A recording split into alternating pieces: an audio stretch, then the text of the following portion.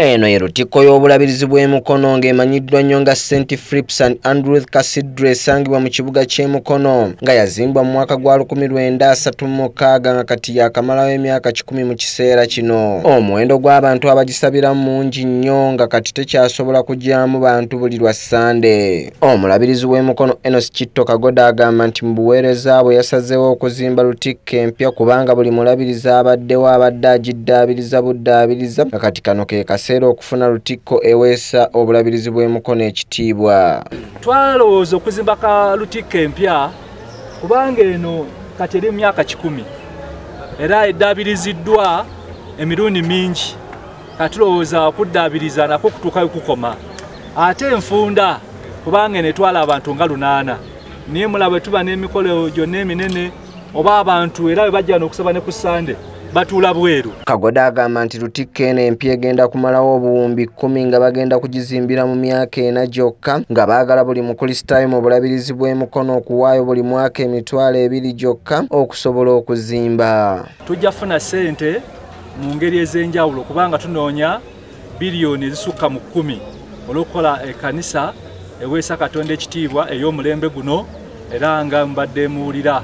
Kakati biliyoni zo ezisukka mu kkumi sente nnyingi naye twalowooza ffe ababatize mu bulabizi bw'emukono tusukka mitwalo ebiri n'ekitundu.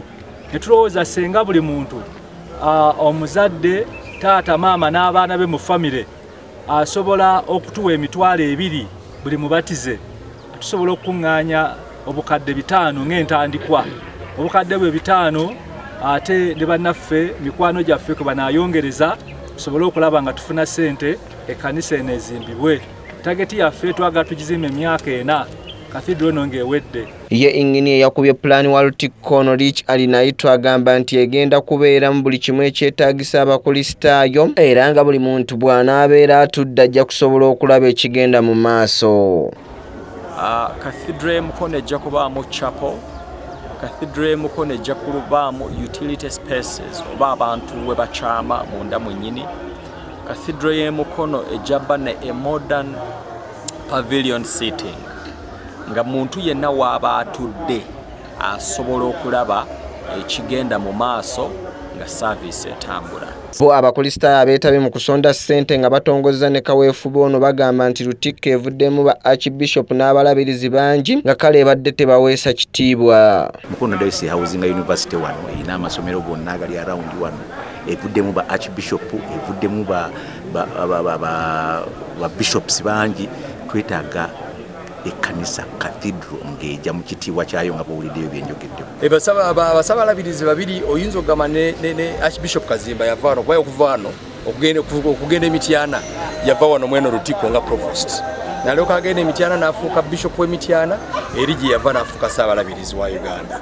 Kati bwogattako ne archbishop yafa eyawumula nkooyo oyo olabira ddala nga obulabirizi buno bukulu. Obulabirizi bw'emukono obutwala disitulikiti omuli mukono kayunga bweyikwe ne buvuma era nga yakava mu basaabalabirizi babiri omuli omugenzi livingstone mpalanyi nkooyooyo stephen kazimba mugalu n'abalala